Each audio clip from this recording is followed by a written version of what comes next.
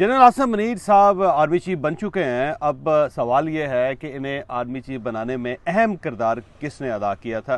तीन लोगों ने बहुत ही अहम किरदार अदा किया था, क्योंकि आखिरी वक्त तक ये चीज़ क्लियर नहीं थी कि क्या जनरल आसम मनीर साहब आर्मी चीफ बन सकेंगे या नहीं बन पाएँगे।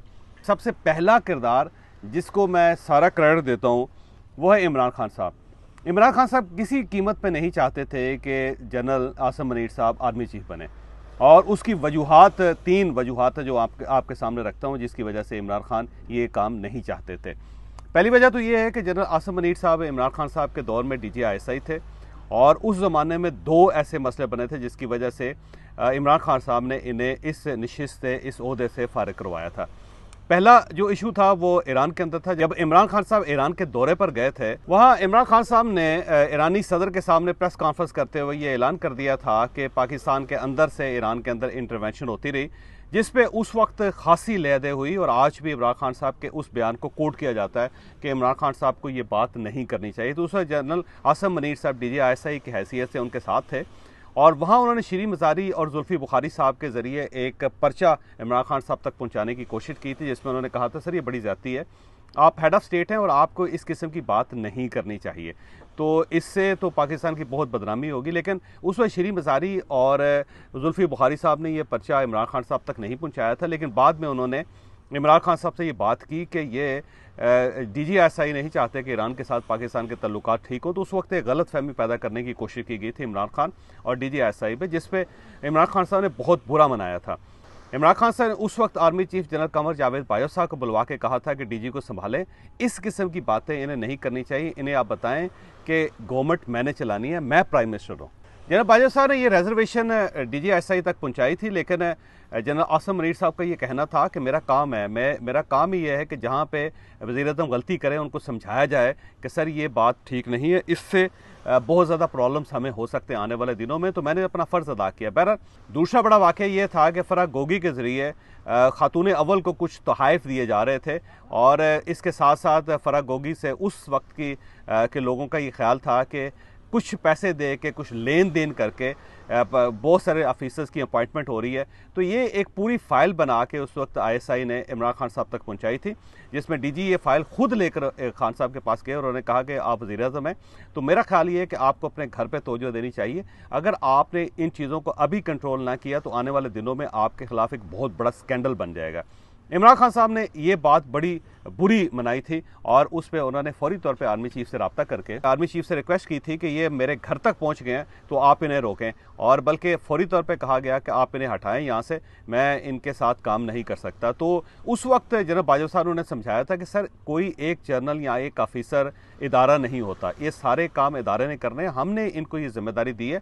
आप इनको हटा के अपनी मर्ज़ी का कोई भी जर्नल ले आएँगे तो वो फौज के बिहाफ पे काम करेगा, वो इंडिविजुअली आपकी मदद नहीं कर सकेगा। लेकिन खान साहब ने ये बात उस वक्त नहीं मानी थी और अल्टीमेटली जनरल आसम मनीर को, लेफ्टिनेंट जनरल आसम मनीर साहब को डी जी आई की हैसियत से हटा दिया गया था और उसके बाद जनरल फैज़ हमीद इनकी पोजीशन पे आ गए थे, आपको याद होगा। तो ये सिलसिला चलता रहा और उसके बाद इमरान खान साहब के जहन में गिरा पड़ गई कि ये बंदा मेरे खिलाफ है। इस गलत फहमी को फैलाने में या बढ़ाने में दूसरा किरदार जुल्फ़ी बुखारी और श्री मजारी साहबा ने किया था। इन दोनों का ये कहना था कि ये एंटी ईरान है, आसम मनीर साहब, और उसका बैकग्राउंड ये बताया जाता था कि जब ये सऊदी अरेबिया में मिलिट्री अटैची थे तो इन्होंने उस वक्त कुरान मजीद हिफज किया था और इनके सऊदी रॉयल फैमिली के साथ बड़े अच्छे तल्लुक हैं। तो ये बार बार एक पेंट किया गया था कि एंटी ईरान है और ईरान के साथ पाकिस्तान के तल्लुक नहीं चाहते। पहले ये तीन चीज़ें थी जो इमरान खान साहब के दिमाग में बैठ गई। और उन्होंने हमेशा आसम मनीर साहब की मुखालफत की।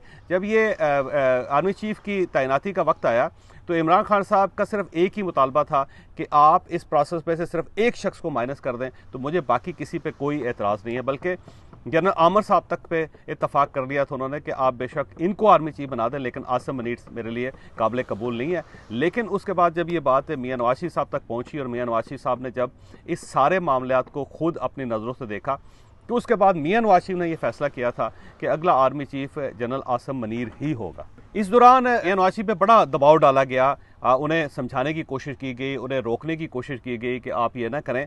और थोड़ा सा दरमियान का रास्ता निकालते हैं, बल्कि शायद शमशाद साहब का नाम इमरान खान साहब ने खुद भी लिया था। और सबका ये कहना था कि दरमियान का रास्ता निकाल के इस जो जो तजाद की फ़ज़ा है, उसको कम किया जा सकता है टेम्परेचर को डाउन किया जा सकता है। लेकिन मियाँ नवाज़ शरीफ साहब का एक ही कहना था कि जो सीनियर मोस्ट है, आप उसको आर्मी चीफ बना दें, जो उस, उनसे नीचे हैं, आप उन्हें chairman, joint chief of staff committee बना दें। बहरहाल, ये सारा सिलसिला चलता रहा और इस दौरान बहुत दबाव आया, लेकिन मियाँ नवाज़ शरीफ इस बात पर डटे रहे और वो एक कदम भी पीछे नहीं हटे।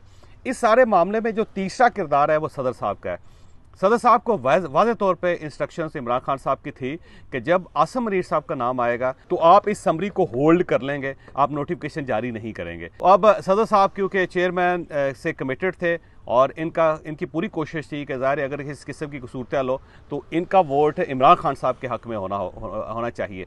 तो जब ये समरी मूव हुई और आगे चीज़ें बढ़नी शुरू हुई तो सदर साहब इनको होल्ड करना चाहते थे। सदर के पास इख्तियार था 48 वन के तहत कि ये किसी भी चीज़ को किसी भी एडवाइस को रोक सकते हैं। तो सदर साहब ने फैसला किया कि अगर इमरान खान साहब इन्हें कहेंगे तो ये इस इस समरी को होल्ड कर लेंगे। लेकिन इसी दौरान आपको याद होगा कि कल जब ये फैसला हो रहा था तो काबीना का इजलास चल रहा था।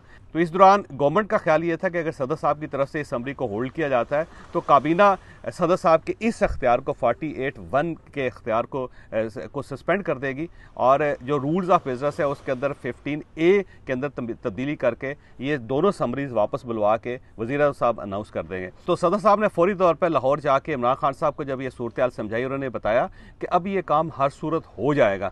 हम अगर इसे रोक भी लें तो हम इसे रोक नहीं सकेंगे। तो लिहाजा मेरा मशवरा यह है कि इसको जाने दें, क्योंकि हमने अगले तीन साल भी इन्हीं के साथ काम कर रहे हैं। तो उन्होंने पूरी पूरी तरह सदर आरफ अलवी साहब ने, इमरान खान साहब को कन्विंस किया।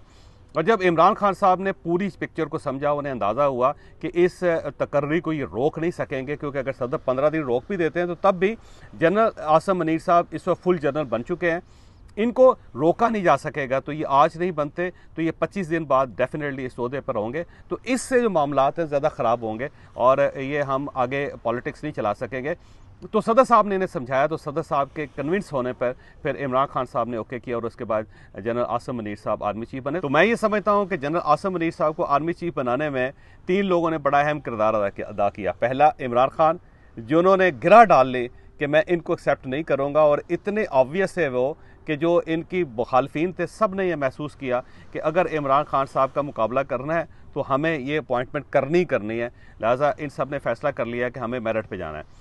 सेकेंडली मियाँ नवाशी साहब जो डट गए और वो उन एक इंच भी पीछे नहीं हटे और उन्होंने ये फैसला किया कि जो सीनियर मोस्ट है वही इस पोजीशन पे आएगा और वो आगे। और थर्ड फिर सदर आरफ अलवी साहब कि अगर सदर आरफ अलवी साहब ये इनिशिएटिव ना लेते, ये इमरान खान साहब को समझाने की कोशिश ना करते तो शायद ये कल जो सूरत हाल ख़राब हो जाती और ये इशू अगले पंद्रह दिन और उसके बाद अगले दस दिन तक ये चलता, पच्चीस दिन तक ये मुसलसल पाकिस्तान के अंदर कन्फ्यूज़न रहता।